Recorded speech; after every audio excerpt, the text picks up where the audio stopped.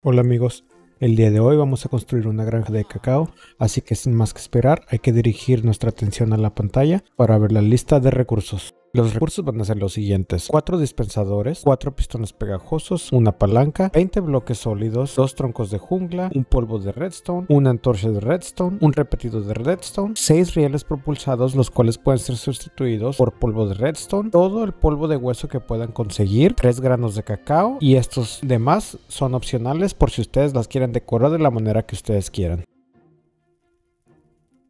Ahora sí vamos a comenzar y lo primero que les tengo que decir, me faltó uno de los recursos, el cual es el observador. Lo siento, van a necesitar 7. El primer paso va a ser poner un bloque temporal con dos sticky pistons de esta manera.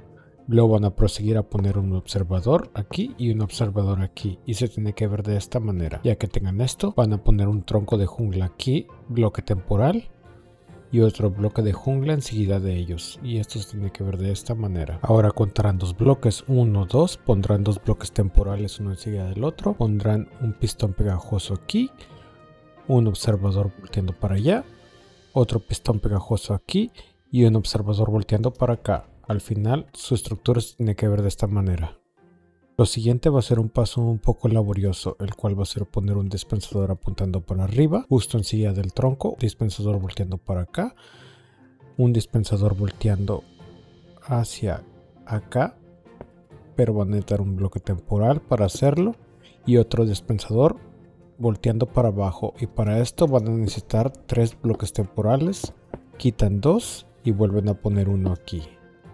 Y al final se tiene que ver de esta manera. Ups.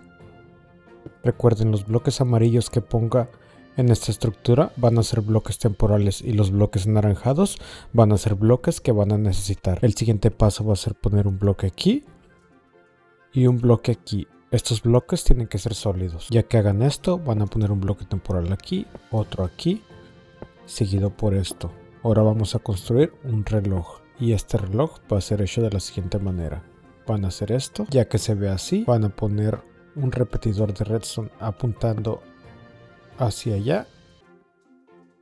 Un polvo de redstone aquí y una antorcha. Eso va a hacer que su reloj empiece. Lo van a poner en el segundo tiempo. Eso es muy importante ya que si no lo ponen en el segundo tiempo, esta granja no funcionará. Y para apagarlo simplemente pongan una palanca aquí y apáguenlo. Recuerden, esta palanca no tiene que estar necesariamente aquí y hay muchas maneras de extender este botón de prendido y apagado. Simplemente pueden poner redstone, llevarlo hasta donde quieran, igual lo va a apagar y prender en distancia. Esto les permitirá poner su botón de prendido apagado en diferentes lugares y en donde ustedes prefieran. Pero por el momento vamos a dejarlo donde estaba. Ya que tengan su reloj terminado en el segundo tiempo y que lo puedan prender y apagar, van a hacer lo siguiente. Simplemente van a poner bloque aquí, otro por abajo y pondrán rieles hasta aquí.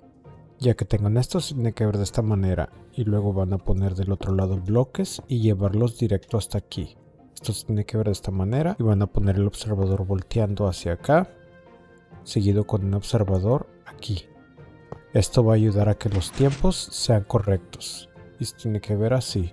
Y para finalizar esta granja, lo único que tienen que hacer es poner un observador volteando hacia acá. Lo único que tienen que hacer es llenar los dispensadores de polvo de hueso. Ya que sus dispensadores estén llenos de polvo de hueso, esta granja está lista para ser prendida. Ahora para la demostración voy a prender la granja en modo de supervivencia. Voy a poner 64 granos de cacao dentro de la granja para demostrarles que tan rápido se pueden multiplicar estos granos.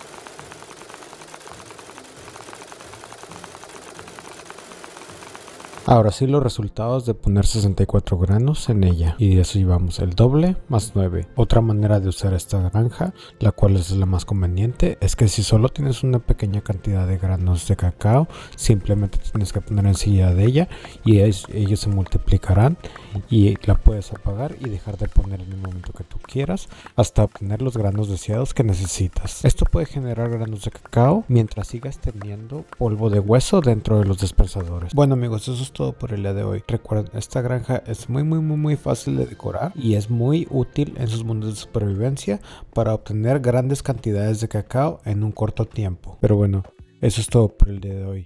Y recuerden, Mi nombre es mucho gusto y como siempre fue un gusto en verlos.